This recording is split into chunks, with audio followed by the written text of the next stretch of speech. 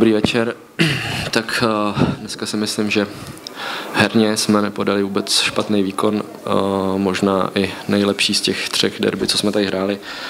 Bohužel nás srazily osobní, osobní individuální chyby a, a nepohlídali jsme si soupeřovi standardky. No.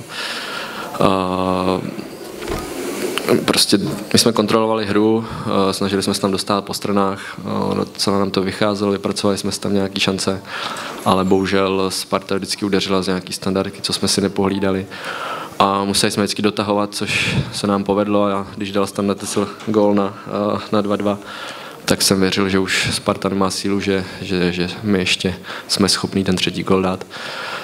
Bohužel pak z nákopu uh, jsme, jsme tam udělali penaltu a, a, a dá se říct, že darovali Spartě vítězství. Díky za hodnocení Říčí Háku prostřed. Tomáši, co vás napadlo, když eh, rozhodčí odpískal penaltu, jak jste tu situaci vlastně viděl z, vlas, ze svojí pozice, a jestli jste doufal, že to třeba VAR zvrátí, nebo jste viděl, že ne, jak, jak jste to uh, prožíval? Děkuju. Tak já jsem to viděl jenom tak v té rychlosti matně. No. Samozřejmě doufal jsem, že to VAR odvolá. Za mě tam Igi šel zbytečně do skluzu, i když si myslím, že, že byla úplně netrefil, že spíš přes něj přepadl, ale říkám, to je můj pohled ze hřiště, na videu jsem to neviděl, ale, ale za, za mě z mého pohledu, co jsem viděl na hřišti, ta penalta byla přísná. Mikuláš Jáša. Dobrý den Tomáši, vy jako kapitán, jako kabina celkově podrželi jste Ogbua nebo vyčetli jste mu to? Uh, samozřejmě jsme ho podrželi. Uh, Igi, Igi svýma výkonama, co předvádí na jaře, uh, spoustu zápasů prostě nás drží. V tom derby tady vlastně dával gol na, na 3-2, je, je to prostě super kluk, super, super fotbalista a má před sebou velkou budoucnost a prostě no, takovéhle věci se ve fotbale dějou, ale my mu to určitě vyčat nebudeme. Uh, podržíme ho stejně, jako jsme podrželi Ajhama. Takže asi tak. No. Radek Špriňar. Ahoj Tomáši, dneska jste prakticky přišli o titul, tak jak velký to je zklamání, jestli můžeš nějak pocity svoje popsat?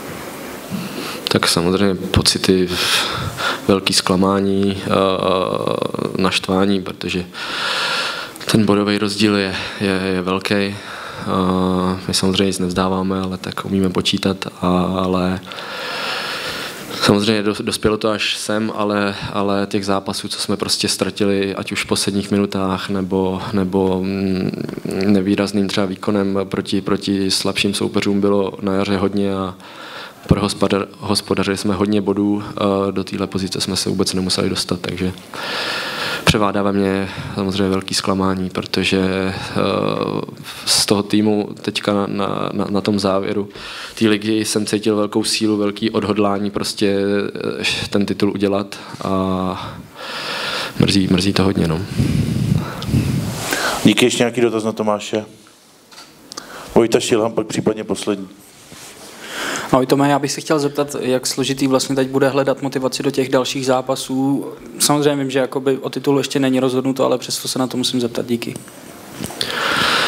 Tak uh, myslím si, že motivaci určitě najdeme. Hrajeme dva zápasy doma před vlastníma fanouškama. Uh, tam jednoznačně chceme mm, předvádět dobrou hru, aby se fanoušci prostě bavili a my chceme prostě z byla utkání vyhrát uh, s co nejlepším výkonem, aby prostě jsme bavili lidi a aby jsme tu ligu důstojně zakončili a prostě dokud to bude matematicky možný, tak, tak ještě prostě jedeme. Jo? Takže teď nás čeká Plzeň. Uh, další prostě super zápas, uh, takže motivaci si myslím, že, že hledat jako nemusíme. Ta bude.